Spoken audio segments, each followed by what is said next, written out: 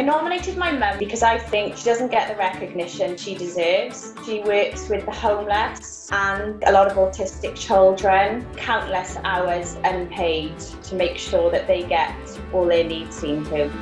Becky, despite all of the bad things that have happened to her, the positivity that she displays gives our children, myself, and those around her a really positive role model between floods that devastated our community, then COVID. Jessica has just been central to the response and raising thousands of pounds to support flood victims and so on. She is just Wonder Woman who makes Pontypridd magic.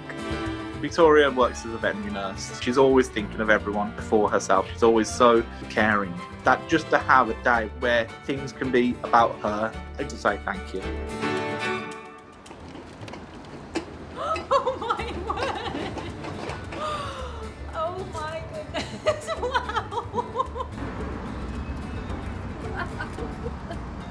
Oh my goodness! Gorgeous.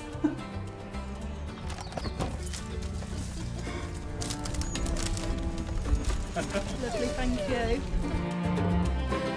It's not often that I am stuck for words, but thank you so much. I'm amazed, absolutely amazed.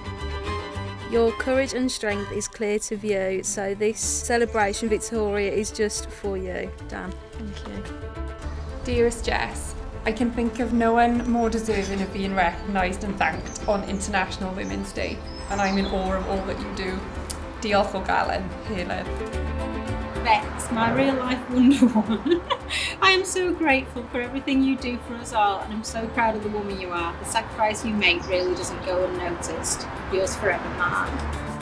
All your hard work and effort never goes unnoticed. You've, you're our superhero. Thank you for being you. Oh, that's incredible. My children. Speechless, really a bit overwhelmed. I don't think anybody's ever said such lovely things about me before. I don't think I've smiled genuinely like this for a long time, honestly. Very touched. And uh, I will treasure this